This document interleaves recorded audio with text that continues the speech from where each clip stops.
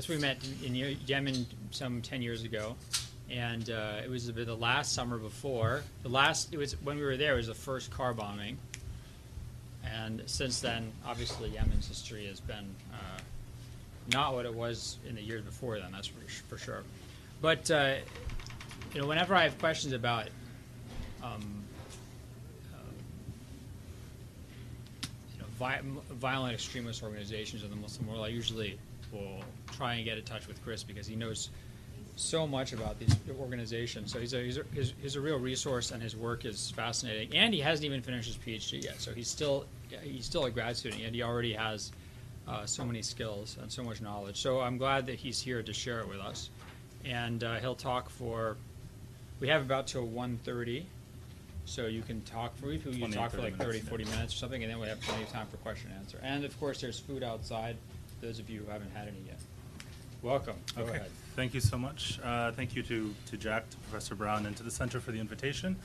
Um, so today I'm going to speak about specifically about Al Shabaab's media, sort of different media campaigns, media operations campaigns, but and also but specifically how they link in or how they connect to the overall kind of insurgent uh, sort of strat- strategic thinking and goal making. Um, so I'll probably alternate between sort of my prepared kind of script and then the PowerPoint. Everything in the PowerPoint images, uh, film clips, everything are primary source materials about which I'll be talking. So I wanted to make sure to include, um, you know, basically only primary materials to sort of uh, illustrate the um, sort of the amounts of material that primary material that, that Al Shabaab uh, produces, and this is this is uh, true with with any sort of number of jihadi organizations. Um, ISIS or Islamic State or Daesh or whatever you want to call it is is sort of a step above. But so just basically, very sort of uh, briefly, an introduction. This is a sort of an overview of, of the different sort of topics um, that that I hope to cover, sort of briefly, uh, succinctly today. Um, just sort of in the introduction, sort of the very beginning to be, uh, Al Shabaab. The origins of Al Shabaab are, are debated. Some date it back to the to the early 1990s when a sort of a group of young Somali uh, Somalis traveled to Afghanistan and trained at with uh, at Al Farouk, the Al Qaeda training camp in Afghanistan, the main Al Qaeda training camp, and that they came back to Somalia in the 90s and then through the 90s and the early 2000s sort of recoalesced into the sort of proto the group that would become Al Shabaab.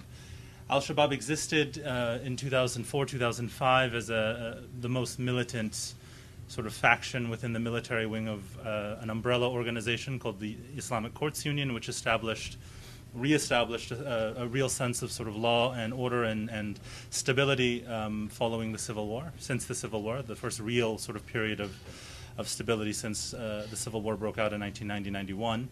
Um, when Ethiopia invaded in December 2006 with U.S. government's uh, sort of not permission but assistance, certainly assistance, intelligence assistance, the the ICU was overthrown, and Al Shabaab by 2007 had reemerged as a fully independent and uh, most lethal of the insurgent rebel groups fighting the Ethiopian occupation forces as well as the African Union forces, which were present in Somalia to, to support the, the very weak and the still very weak transitional federal government, the Somali Transitional Federal Government, or the TFG. So we're going. The story really begins with Al Shabaab's media in sort of December 2006 into early 2007, early mid 2007. Sort of the early and it's important to sort of I think keep in in uh, sort of in mind that when ISIS was still masquerading on paper as a state uh, in 2008, 2007, 8, and 9, when it really did not control any real territory, that Al Shabaab was not only in control of vast amounts of territory in southern and parts of central Somalia, but also was implementing um, a lot of what ISIS is, we've seen ISIS do since 2013, 2014. Al Shabaab began doing, you know, as early as 2008, when it began capturing vast amounts of territory um, in the south, um, especially important urban and economic hubs like the port city of Kismayo in the far south. The um, so really, in many ways, Al Shabaab is is kind of a, a, a path breaker and, and and also in media, which which I'll come to in a, in a little bit. So the earliest Al Shabaab films, some of them are difficult to say whether they're Al Shabaab specifically or sort of sort of proto Shabaab films. They're not they're not branded like they are later as being from the media department of, of, of Al Shabaab. But most of the early films deal with a sort of a set number of kinds of topics. The first one is the recruitment, foreign fighter recruitment, particularly. Uh, it's a specific interest very, very early on, and it, it comes back again in 2010 as kind of a, a refocus on recruitment drives. Um, the other focus is reporting on sort of the kind of insurgents, asymmetrical kind of warfare operations that Al Shabaab engaged in beginning in late 2006 uh, into 2007. You know, so whether it was ambushes of African Union convoys, attacks on TFG sort of patrols and bases, this kind of thing. They also highlight the corruption of the TFG. So, for example, there were a number of very infamous incidents when the TFG's soldiers, which basically were and, and continue to be basically clan based militias, would loot the merchants in the main market in Mogadishu, the Bakara market.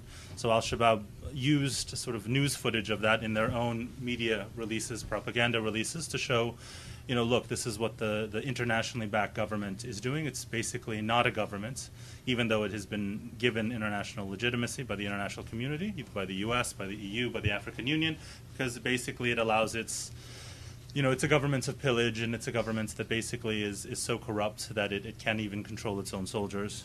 The other thing which comes up very early in Al Shabaab films are sort of international controversies, such as the Danish cartoons of 2005 beginning of 2005. So some of the foreign fighters, like this young man, when they deliver their last messages, their their last will and testaments in, in some of these um, early films, they talk about the.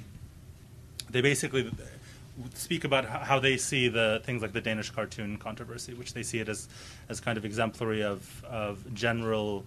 Uh, disrespect for sort of Muslim beliefs and Muslim um, sort of sensibilities, and they tie that into, you know, and the only way to to change this is through military military action through through violence. Um, another thing that comes up sort of early in early Shabab films. So these are some of the recruitment stills from some of the early recruitment films.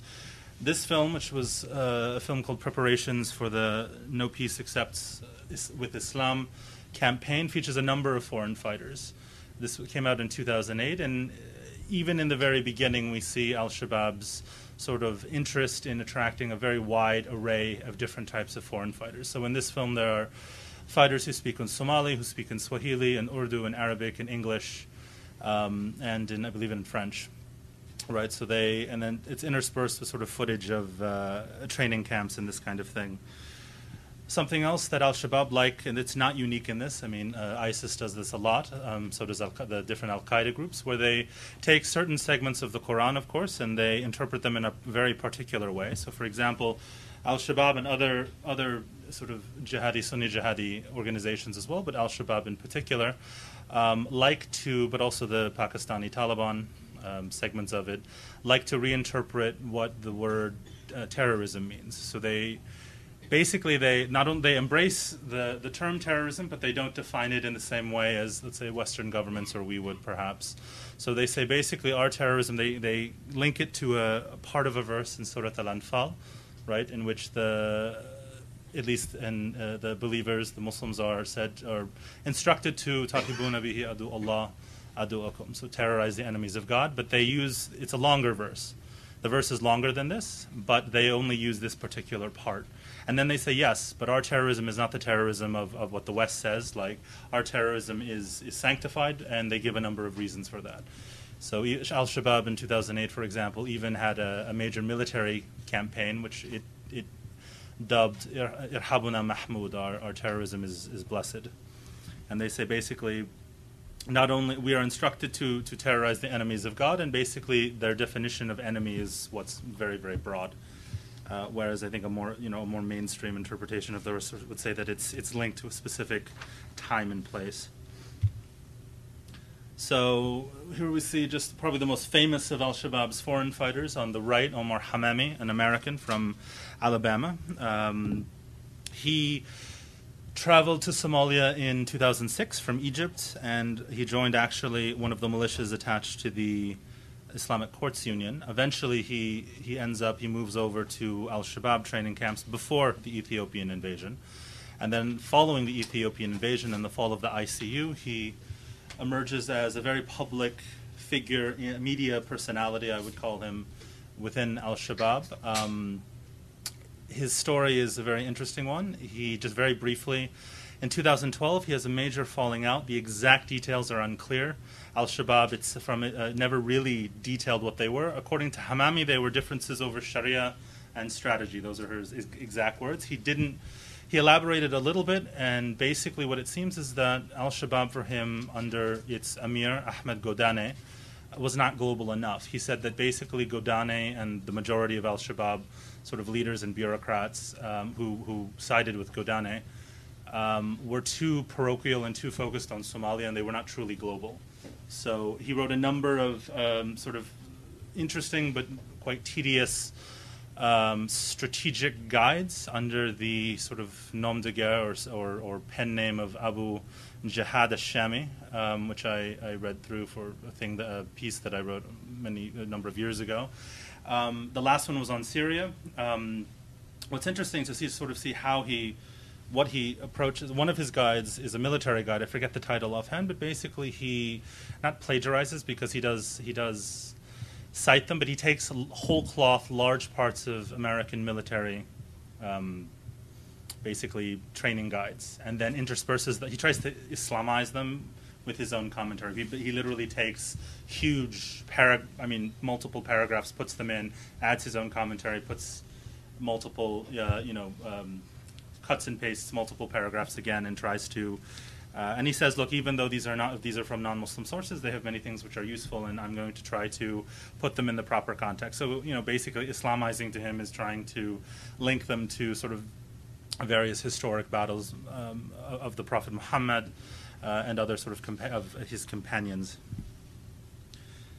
So, wh- why, you know, why why would it go? Why would Al Shabaab sort of focus on both a sort of a, a global aspect or a transnational aspect as well as a, a Somalia-centric, uh, you know, aspect in terms of recruitment?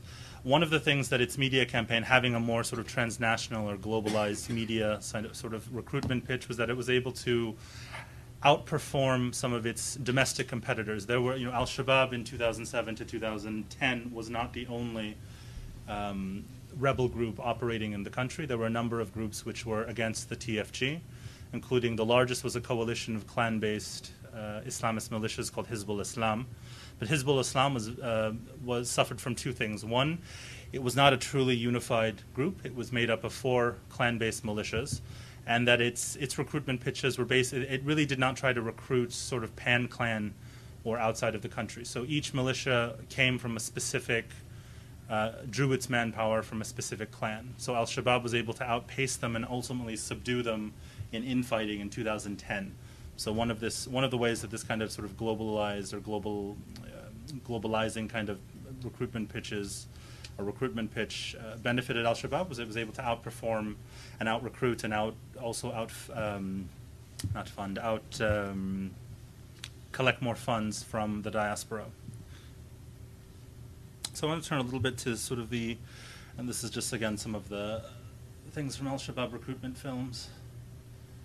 And actually, this gentleman from Sweden talks about uh, Lars Vilks, one of the other um, cartoonists, uh, when he's talking to fellow Swedes to come to Somalia to sort of uh, defend the honor of their religion. Uh, turning sort of to the, the idea of what is what did Al Shabaab try to do in 2008, 2009 when it began capturing large amounts of territory?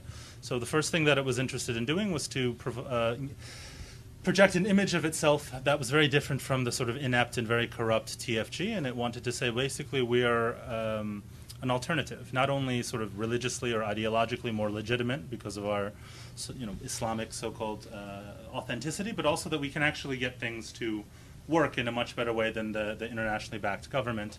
So one way that it did that was to uh, institute a kind of law and order, or a harsh, certainly a very harsh form of law and order, but one which basically, even though Al Shabaab sort of took over as the, the, the sort of the group which would predatory group which would tax and would implement certain things, it was still an improvement to many local locals over having to pay, for example, you know, five different militias. To, if you were going from this part of the city of Baidoa to the other part of the city of Baidoa, you had to pay.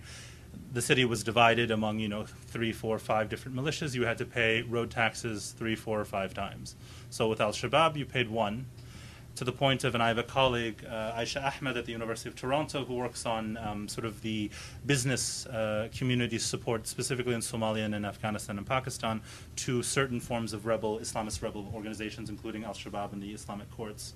Because the Islamic courts and Al Shabaab even have, they don't just extort money, they actually do have formed relationships with certain merchants and business people, particularly when they controlled the coast in uh, coastal cities of Kismayo and Marca.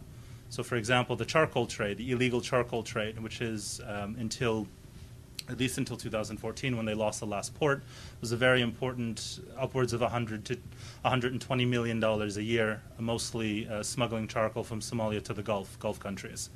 And a lot of the businessmen, some of the biggest ones who were smugglers of charcoal, have very had at least very close relationships with Al Shabaab. So, as part of the kind of law and order aspect, or the insurgent justice, if you want to, if we want to think of it that way, is you know it's you know, per, certainly their interpretation of Sharia of Islamic law and Islamic jurisprudence is very very narrow. It's basically the hudud, it's basically this, this, the set punishments for certain crimes.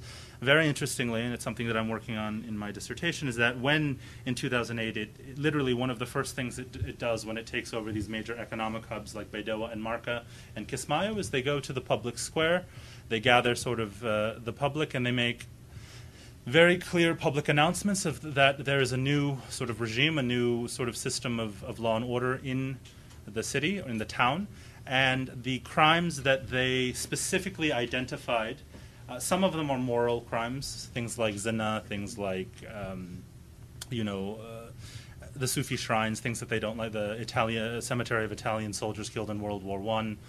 Um, but the, the, the bulk of the offenses which they say will be no longer tolerated and which they will be targeting are economic crimes. So highway robbery, hiraba, theft, uh, sort of wanton kind of killing, this kind of thing. And it's something that they highlight later on in terms of that they, particularly when they're losing these areas of, you know, when remember when we came in, we instituted this, implemented this form of law and order and justice.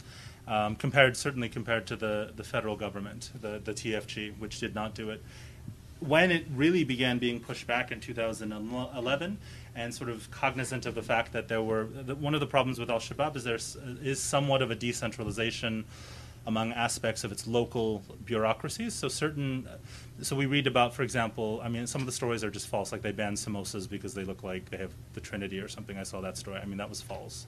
But some of the things that were implemented, such as the banning of khat, in one area would not be banned in another area. It would depend on the commander in that particular area. Cognizant of the fact that there were complaints by locals um, against some of their officials, they opened in 2011 the Mazalim courts um, to basically uh, first in middle and lower Shebelle, two regions south of Mogadishu, and then spreading to other regions that they controlled. Basically, and the idea of the Mazalim Court, which Professor Brown can talk much more about, um, is it historical? Basically, in theory, it's where the even the sultans or the rulers, um, officials can be held to account for various sort of infractions or abuses of sort of the everyday population, you know, the, the sort of general population. This is uh, from one of the Mazalim courts, the top left, uh, one of the hearings.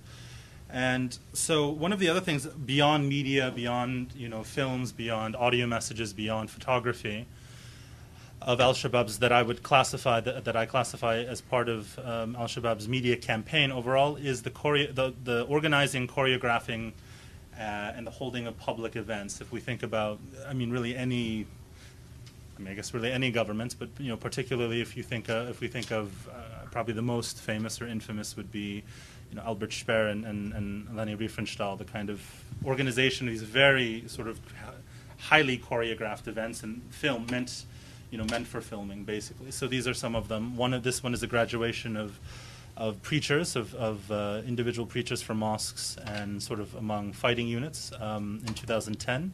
Uh, it's named after Abdullah Azzam, the famous uh, Afghan, quote unquote, Afghan Arab commander, recruiter, fundraiser. And this is Ali, uh, Ali Rage, who's the um, still the senior spokesman for Shabab. So this is kind of one of the events, sort of, uh, what kind of events do they do? Basically, the, the Friday prayers, but particularly the Eid, or Eid al-Fitr and Eid al-Adha.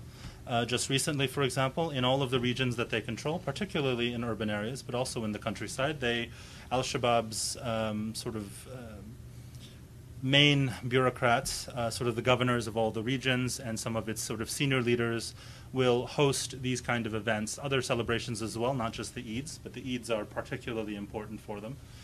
And they basically they record them. They sometimes release them to in films or other kinds of releases which are aimed externally.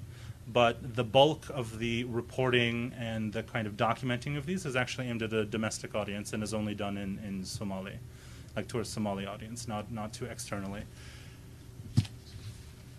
It's the same from some Eid prayers. So, what happens in, two, in February 2011 when the African Union, the Somali governments, uh, and sort of allied militias, and then eventually Kenya and Ethiopia again, sort of begin a series of sort of uh, new offensives against Al Shabaab, which really pushed them out of Mogadishu, out of most of the, the urban centers. How does, Al, how does that affect Al Shabaab's media, and how does Al Shabaab's media uh, react? So, basically, during the times of um, decline. There is a slowdown in releases. Um, just one quick example is Al Shabaab, and it's at its height in 2009 to f- about February 2011, issued daily um, news reports, communicate written news reports. This eventually slows to weekly, to monthly, and now um, it stopped for a period uh, entirely, and now it's they're issued monthly. But there used there was a time when they were released literally daily sort of, and they're very brief, and they just are mostly about military operations generally, or social events, this kind of thing. However, the sort of the quality in terms of the production value, things like this, particularly for films, does not decrease, and if anything, it actually increases during this time. The the number of films specifically slows down. The number of photo, you know, photographs, things like official photography, things like this, does not. And one of the things that doesn't get as much attention as the films for sort of jihadi organizations generally are is photography. So if we take ISIS, ISIS just since June, May, June 2014 has released, by my count, and I haven't even been able to collect everything. I'd say I have maybe 85 percent, is upwards of 60,000 photographs of different things. And so if the ones I'd missed, it probably would go up another, probably 10 or 20, I would, I would imagine. So, and that's just since that's just basically since they swept across, you know, Western Iraq. That's not even since the beginning. It, it is true though that earlier on, photography was not such a major part, uh, not not such a so, so important to their media campaigns. The other thing that Al Shabaab did, I like this photo. These are Al Shabaab sort of women. They actually do recruit and train women, sort of women's brigades. Um, during the famine in 2011, they on the, sort of in reality, they basically prevented a lot of aid from reaching areas in Somalia that were affected. So to try to count to try to counterbalance the negative PR of that, they opened, they publicized, they attempted to publicize and sort of brag about their own, you know, drought relief efforts, basically. And they opened their own temporary internal re- uh, refugee camp called Al Yasser in Lower Shabelle, which is south of Mogadishu. Um, and they kind of really produced a lot of material, films, photography, reports on the kind of humanitarian, various forms of humanitarian aid that they were, you know, delivering to uh, segments of the affected population. In reality, they they really prevented a lot of um, relief from reaching. For example, they banned the, the Red Cross just sort of and the various UN organizations sort of completely from from operating in their areas. Um, these are just some of the events kind of things. There, this was a radio contest for a Quran recitation contest in 2010, and the winner won various things, including a Kalashnikov and money. They talk about the Cubs. This is something the the, the Ashbal. Um, this is something that ISIS does as well. Basically, the ideological, military, sort of physical training of the next generation. What they see as the next generation of uh, fighters. Um, this would have happened probably at one of the Eids uh, yeah, at one of the Eid ceremonies, um, and often these are these are sons and sometimes daughters of uh, existing members. They they also like, as a way of attacking the governments, like to highlight the defections at various times, which are fairly regular, of government uh, soldiers and sort of police, uh, such as these four gentlemen. So this is a public. This is at their internal, uh, the Al Yasser sort of internal refugee camp. The guy, this man on the right, Abu Abdullah al Muhajjar, supposedly was a representative from Al Qaeda who was delivering humanitarian aid to Ali Rage, the spokesman, Shabab spokesman at Al Yasser during the famine, like as a gift for the, the Somalis. It was a sort of a big PR event for them. This is one of the segments from one of the statements about the kind of control that Al Shabaab at its height in 2010, um, yeah, 2010 attempted to, or in fact did uh, exercise over various sort of external um, aid organizations. The WFP, though, is particularly interesting. There have been criticisms, including from the UN uh, group, the monitoring group for Somalia at the time, and it's I believe it's 2010 report, 12 report, about sort of the ineptness of some of the WFP's programming uh, programs in Somalia in terms of like some of the food would would be already have rotted by the time it was delivered. And there were complaints from Somali farmers, not just those that were uh, affiliated or sort of pro Shabab, that the, the, sort of dumping at certain times of, and it even mentions it here, uh, of food on the market created a glut which harmed, actually harmed sort of domestic uh, local Somali farmers. So a lot of Somali farmers uh, have, have, a lot of uh, complaints about the WFP or had them at the time. So they use uh, the cartoons I mentioned, um, they also use him. They were probably the first, I think, before ISIS used an image of him. This is from a Shabab film. They used, uh, they're very in tune with international kind of events. Also in 2010, if you remember this preacher from Florida, Terry Jones, who talked about, said he was going to burn the Quran, like they, Shabab talked about him as well. So they, they talk about Trump as well. He's, he's, uh, and then ISIS does as well too. I just like that quote from his doctor. But, um, so this, how did this is how they sort of mass setbacks? They really in 2011, 2012 begin to uh, tap into a very extensive uh, library of footage to sort of claim that you know when we've lost these territories now, but you remember when we controlled them, things were much better than they are now that they've been liberated by the government and by the African Union, because now the, the sort of clan warlords have come back. And when we were there, the clan warlords were subdued and suppressed, and, and it's because, of course, they say it's because of our implementation of this certain form of law. Another thing that they try to do, have tried to do since then, is, is uh, project an image of power, and of course, they have they have a significant presence in Kenya. So they um, and also the capturing of various sort of African Union equipment and supplies. These are just two examples. So even though we've been pushed back from Baidoa, from Kismayo, from Mogadishu, we still have a very significant presence. And since Kenya invaded in 2012 or in 2011, sorry, that we also have a presence now in Kenya, and they really talk about and they benefit from Kenya's um, the problems uh, between that many sort of young and uh, the disenfranchisement that many young uh, Kenyan Muslims feel, which I'll turn to in a moment. Um, also, they meet with clan elders. Unlike ISIS, even though ISIS does meet with sort of disaffected uh, tribes and clans as well. Al Shabaab, I would argue, is much more in tune with local concerns. So, for example, even today, when the federal government alienates certain clans or sub clans, they, they know that they can go to Shabab and, and try to get sort of a, um, a remedy that's more to their taste. And here they also highlight, these are some of the martyrs from battles, that they highlight which clan or subclan that they come from, which is interesting considering that supposedly al-Shabaab, if we are to believe it, is has a very um, Islamic and not a very, you know, that, that it privileges its religious identity over everything. That's not always the case. There's a refocusing on martyrdom. On, on they come out with and have continue to come out with a number of sort of again this vast library of footage that they they must have had for a number of years but haven't released of various uh, fighters who were killed in action um, as far back as you know 2008, and kind of a, a vast amount of, of, film releases focusing on the ideas of self-sacrifice, um, and that self-sacrifice is necessary in order to win victory. This is the former emir uh, who was, was killed in September 2014 in a drone strike. Ahmed Godane or Mukhtar Abu al-Zubair. So the regional media strategy, even though Al Shabaab's Western foreign fighters from Europe, from Australia, from North America, particularly, you know, the 40 or so young men from from Minneapolis, from Portland, from, from other areas who've gone from Toronto. Um, yet the most have gotten the most attention. The, the vast, um, the majority of foreign fighters for Al Shabaab have always come from East Africa, you know, in the hundreds. And this makes sense just from a logistical point of view. It's much easier to get from Tanzania or Kenya or the Ogaden region in Ethiopia to Somalia, which is right next door, than it is to travel all the way from Sweden, from Britain, from North America, particularly after you know 2010, 11, when uh, law enforcement agencies in these countries became very aware that people were, uh, some young people were trying to go to Somalia.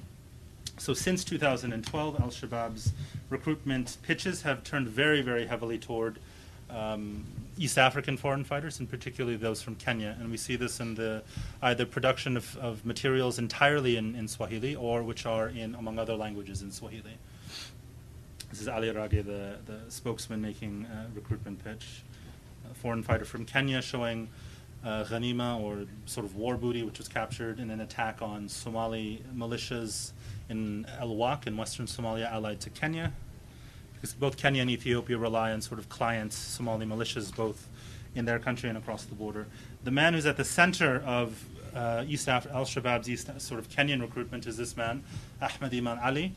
He was um, he is the head of a group called the Muslim Youth Center or Al Hijra, the origins of which are in 2008, 2009. It formed in the Majengo neighborhood area of Nairobi. It was uh, an organization, a sort of a communal organization for Muslim youth. Um, this is a picture of him on the top left when he was uh, still in Nairobi. Um, it was meant to be kind of like a, um, a boys' club, I guess. Eventually, by 2006, how, uh, sorry, by 2009, 10, they were sending, it seems, fighters to Somalia. And by 2011, 2012, uh, Iman Ali himself relocates from from uh, Kenya to Somalia, where he is the head of the Al Hijra MYC sort of Kenyan contingent. Um, and he's increasingly featured in, in Al Shabaab recruitment uh, sort of pitches toward uh, Kenyan youth. Um, their recruitment centers on uh, sort of spiritually on a number of late sort of preachers who were killed in mysterious circumstances. Um, one of them is Aboud Rogo. There's a short clip. the genocidal regime set out an organized policy of ethnic cleansing across the region, killing the Muslim men and raping the remaining Muslim women and as such, the region has faced decades of violent crackdowns and repressive policies which were imposed by the Kenyan government in order to destroy the identity of the Muslims of the Northern Frontier District. The intense feelings of hate nurtured by such policies have been festering over the decades.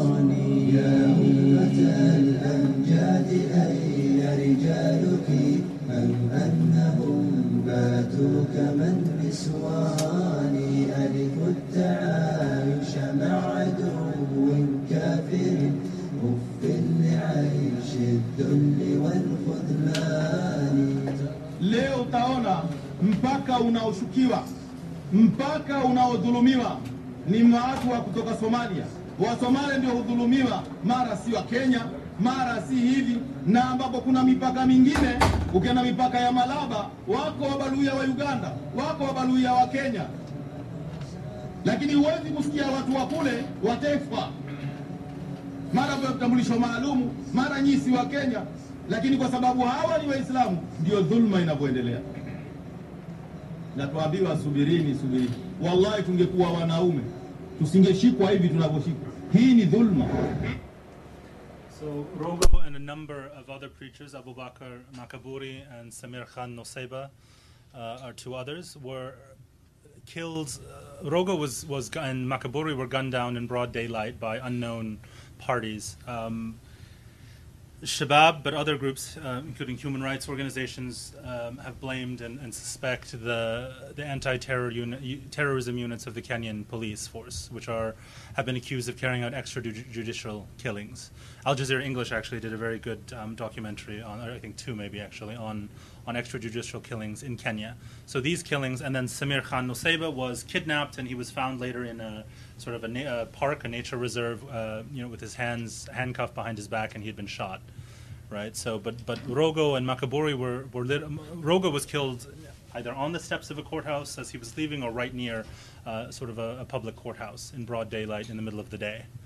So, and we know it's clear that this resonates with a lot of the Kenyan foreign fighters, not the, just this gentleman, but this is an example, basically because they talk about them and they cite them as, as, as one example of this is how, even though the, you know we're Kenyan citizens, that we're we're not respected. Basically, they kill our, our, our religious leaders and our, our preachers sort of with, you know, wanton sort of abandon. They can just kill them on the street, and we and that we can't do anything about it, and they know that. And this was actually after uh, an ambush on Kenyan uh, Kenyan police inside of Kenya by Al Shabaab uh, units. This is Ahmed Iman Ali. So, turning sort of how how do I, I, I say that I would argue that Al Shabaab engages in a form of kind of messaging, a kind of journalistic or kind of jihad. They like to pose kind of a jihadi kind of journalism, is what I call it, basically. And what they want to do is sort of uh, twofold. One is to to say that we are a more reliable source of information than uh, this is to external audience in Kenya, uh, audiences in Kenya and Uganda than your own governments. So there was a major attack in January of this year at El Adde, which was a major Kenyan AMISOM base in western Somalia in the Gedo region. It was overrun in a mass attack by Al Shabaab, hundreds of Al Shabaab fighters. Um, initially, the Kenyan government den- uh, and Al Shabaab from the beginning claimed first it claimed 46 and then eventually 100 plus killed and or captured. The Kenyan government has, I believe, still is maintaining that it was uh, four, no more than 40, but there was a, a major CNN uh, online CNN online report, for example, that that supports the higher number of, of even higher than 101, 101, up to 140 uh, Kenyan soldiers were either killed or captured. So, in one of the messages, there were a number of them, but in one of the film messages aimed directly at a Kenyan audience, Ali, this is a quote from, from sort of a much longer video. Basically, you know, he says this rifle that I'm holding, the M16, is uh, is was from a, a Kenyan soldier, so and so. The you know this jacket was from soldier. Here's his ID card. So if you, you know, families of Kenyan soldiers who are wondering about, uh, you know, their fates, you know, don't bother asking our own government because they're just going to lie to you because they're they're already lying to you now that, you know, basically they're trying to say that only you know 40 were killed. In reality, 100 were killed. This is mirrors something that they've done before a number of times. Uh, a major time was in 2011, outside of Mogadishu in a district called Dainile. They ambushed a Burundian AMISOM convoy. They killed. They claim the numbers are disputed, but again, it was Shabab claimed upwards of 70, and the African Union said 10. But reporting from sort of locals, interviewing locals from the New York Times, from Agence France Presse, um, supports a higher number. Maybe not as high as Shabab is claiming, because then their numbers move up from 70.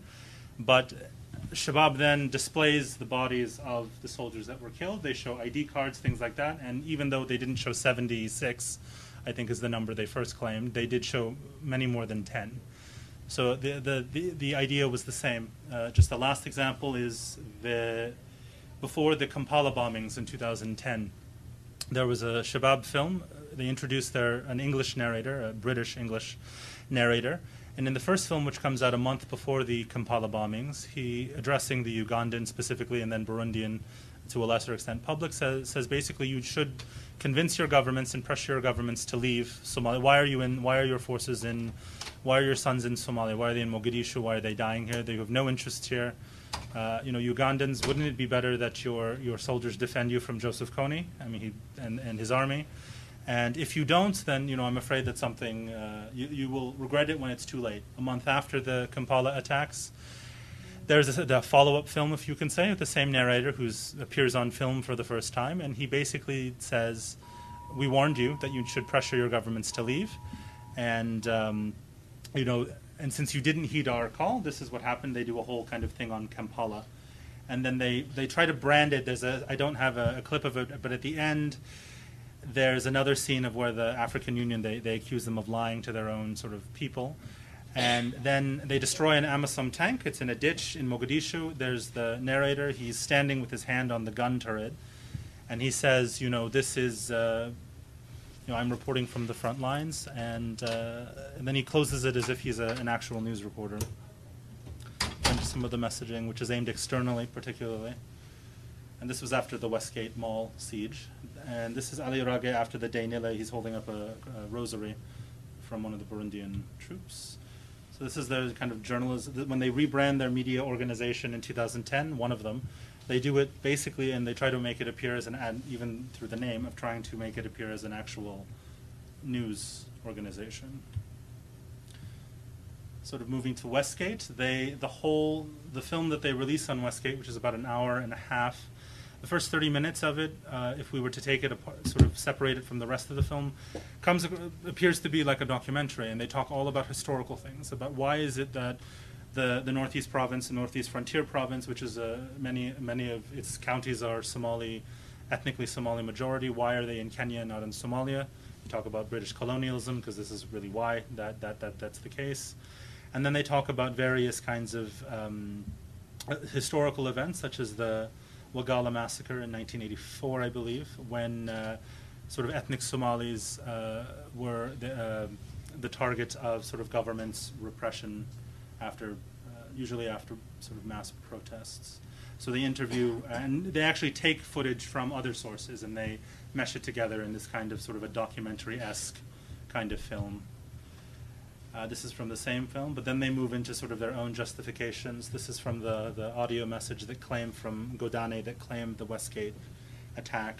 Um, some of you may remember during Westgate that before ISIS, really, it was Al Shabaab that really sort of pushed the envelope forward of jihadi use of Twitter.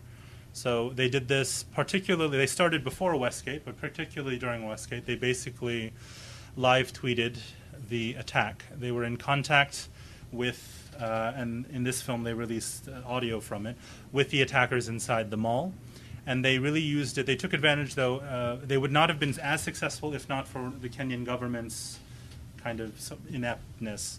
So basically, there was a lot of confusion and infighting among different Kenyan agencies, the army and the police, for example, about how to respond initially to the Westgate attack.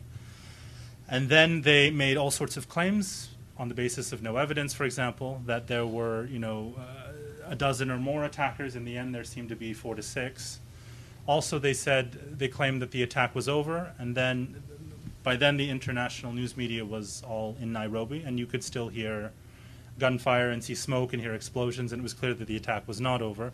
And on its sort of live on its um, Twitter feeds, uh, Shabab would point this out in real time. And they were being shut down repeatedly, but they kept opening them up under variations of the same name. Eventually, Twitter actually, the administration administrators um, banned HSM Press at all because they just kept coming back as HSM Press, you know, six HMS, this one, whichever this one is, HSM Press Office, variations of HSM Press, and eventually they they banned a whole bunch of these kind of Twitter handles another way that they sort of a good example of how they manipulate the media, they're very attuned at what's going to get attention, particularly during times of decline, is by talking about issues which are of concern particularly to Western governments, like this, the fear about lone wolves. We see that with ISIS, where ISIS basically claims every attack everywhere, whether it had any ties to it or not, with some generic claim that, for example, the, the, the attack, this stabbing uh, attacks in the mall in, in Minnesota they said is a soldier of the Islamic State. In some cases, they seem to have some prior contact. In some cases, they have none. Orlando, etc. So Al Shabaab does this in in the the Westgate video. There's a minute of it, literally a minute, no more, where they talk about look, you know, Westgate was successful. You know, Western Muslims in Canada, in Australia, in, in the U.S. You can uh, carry out a very uh, similar attack, and they name some malls in Edmonton, the Mall of America, um, you know, some in the UK. So this one-minute clip then resulted in this deluge of sort of media coverage of Al Shabaab calls for attacks in Western walls, which is not untrue, but really is not the main thing that they're talking about. And this is uh, an example. And Al Qaeda, they're not, not unique in this. Al Qaeda has done this as well. This is just two examples. This is first is Shabab, and the other is Al Quite understandably, it may not always be easy for every single Muslim in the West to make this momentous journey to the training camps of jihad. So if it's impossible for you to make it safely to any of the lands of jihad, then follow the example of your brothers in Woolwich, Toulouse, Texas and Boston. Let not the fear of intelligence agencies or the police divert you from your goal. They can neither benefit you nor harm you, nor do they have the power over life or death. Do not waste your time trying to reinvent the wheel. If you cannot afford to obtain one of these, then certainly a simple knife from your local B&Q will do the job. So prepare yourself and march forth with firmness and conviction in the rewards of martyrdom. And remember, Without this mighty pillar, the pillar of jihad, the banner of Tawheed will never be raised, and the disbelievers will continue to dominate both our lives and our lands. So make your choice today and put your trust in Allah. Muslims in the West have to remember that they are perfectly placed to play an important and decisive part in the jihad against the Zionists and Crusaders, and to do major damage to the enemies of Islam, waging war on their religion, sacred places, and things, and brethren. This is a golden opportunity and a blessing from Allah subhanahu wa ta'ala. And the way to show one's appreciation and thanks for this blessing is to rush to discharge one's duty to his ummah and fight on its behalf with everything at his disposal. And in the, and in the West, you've got a lot at your disposal. Let's take America as an example. America is absolutely awash with easily obtainable firearms. You can go down to a gun show at the local convention center and come away with a fully automatic assault rifle without a background check and most likely without having to show an identification card. So what are you waiting for? It's Adam Gadahn, yeah. He's dead. Yeah, he's dead like now. a fundraiser on TV or. Yeah, he's, he was uh, actually people made fun of him, analysts, because of his tedious, tedious. And then closing, just about how has Al Shabaab dealt with internal dissent. Uh, the main example ongoing right now is Al Shabaab versus uh, ISIS, Islamic State, and uh, sort of pro uh, ISIS elements in Somalia. Um, it earlier it dealt with dissent in 2012 with Omar Hamami, Hamami and other, including some founding uh, members and leaders of Al Shabaab, um, defected from, from the organization and began to criticize Godane. Eventually, Godane and his his supporters were victorious. They they ended up killing a number, Hamami and a number of their most prominent critics. They tend to favor being very low key. They did not really address in their media directly the Hamami issue. They kind of talked about the need for unity and, and avoiding fitna and this kind of stuff, sort of internal sort of strife.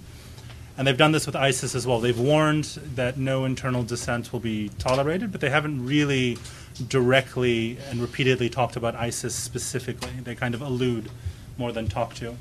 Um, ISIS, for their part, beginning in May of, of, of last year, have been not subtle at all. They've released a number of films, but starting in May 2015, continuing into early this year, of basically featuring foreign fighters, first mostly from Somalia, from, from Ethiopia, from East Africa, pitching recruitment to, uh, you know, defection to existing members of Shabab and, and the Shabab leadership. And then when that became, it became clear that that wasn't going to happen en masse, they began, Al Shabab began uh, cracking down on dissidents. They began releasing warnings against Shabab that you will, you know, you're going to be held in, you know, to account by us and then in the afterlife for, for persecuting uh, you know, these, these Muslims. And so this is from one of the, the first sort of Shabab, uh, sorry, uh, ISIS pitch um, to Shabab members and sort of Shabab supporters. The only, sign- the, the, so far at least, the main victory for Sir ISIS has been the defection of this gentleman above, Sheikh Abdul Qadir Mu'min, who's a very prominent, uh, he was a prominent Shabab sort of uh, spiritual religious figure, um, fairly prominent uh, Somali Salafi preacher and, and, and um, religious scholar from, from, uh, from Puntland. Um, he was very important to Al Shabaab's kind of uh, sort of ideological kind of component of its, of its missionary da'wah kind of campaigns. He defected in October 2015 with a number of his followers. It's unclear how many, they didn't specify. Um, there was also this commander, Abu Nu- Abu Nu'man al Yantari. He was promptly uh, killed, uh, located and killed by Al Shabaab's very formidable internal security apparatus, which, which they call the Amniyat. Um, this is a film that they released posthumously of him and about 20 or so of his um, fighters, of his followers, um, giving bay'ah to Abu Bakr al Baghdadi. This is a much more recent film from just a week ago of, of pro ISIS uh, Somali fighters uh, somewhere in Somalia. Abdul Qadir Mu'min is somewhere in the front, uh, and this is the Eid al Adha, uh, the prayer to greet Eid al Adha. And sort of fine, sort of closing, the Al Shabaab media has, again, very subtly, without directly, bluntly addressing sort of the, the very severe infighting between between ISIS and Al Qaeda, has reaffirmed um, and, and, sort of steadily and continually its loyalty to Ayman al-Zawahiri as its um, as its emir, as well as here shortly after uh, public, it was publicly uh, acknowledged by the Taliban that the Afghan Taliban that uh, Mullah Omar had, had died in 2013. They reaffirm uh, their loyalty to him as Amir al Mu'mineen. So if uh, Mullah Omar and then Mullah Akhtar Muhammad uh, Muhammad Akhtar, um, Akhtar Mansour, the one who was killed, and then the one now, um, Hibatullah uh. If they're Amir al Mu'mineen, then Abu Bakr al Baghdadi cannot be Amir al Mu'mineen. And they acknowledge these two as Amir al Mu'mineen. Shabab even had janazah prayers for Mullah Omar when it became publicly uh, sort of known that he had died. Um, and just in conclusion, there are a lot of similarities between, of course, different, you know, between Shabab and ISIS. There are significant differences. One, I think, is that, as I mentioned before, that Shabab is much more locally um, rooted than, than ISIS is in many cases. Ideologically, it, it becomes somewhat harder to tell. This is um, from a Shabab film where the president, the current president of, of Somalia, Hassan uh, Sheikh Mahmoud, um, it's, it's all about unbelief and that you have to reject unbelief. This is a quote from Muhammad ibn Abdul Wahhab from his three foundational principles about what is Islam. Islam is the surrender, complete surrender to this concept of Tawheed, the absolute monotheism, and rejection of shirk and everybody who associates it with it. I think the imagery is quite clear of uh, President Mahmoud meeting with uh, Secretary Kerry. And with that, I'll close. And if anyone has any questions that come up later, I'm happy to answer them. And thank you very much for listening and coming.